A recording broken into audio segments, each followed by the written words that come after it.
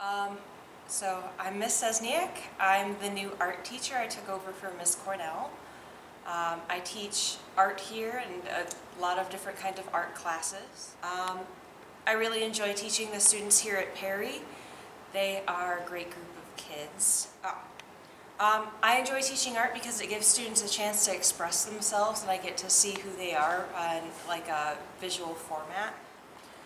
I think art is different from other subjects because it's more hands-on and uh, it's a nice change of pace for students who usually sit in a desk all day and don't get to move around and don't get to um, work on something that'll take a long time. It's, it's kind of a um, longer process that they get to work through.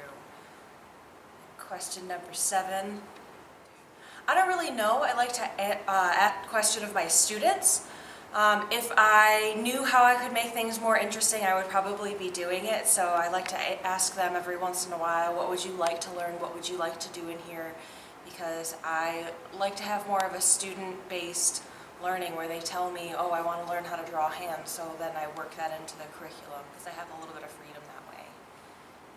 I would teach elephants because they are actually known to uh, do a little bit of painting. Some zoos have given them paintbrushes and had them make little paintings and sold them to benefit the zoo and I think that uh, elephants are pretty creative so I think I would love to teach a class of elephants.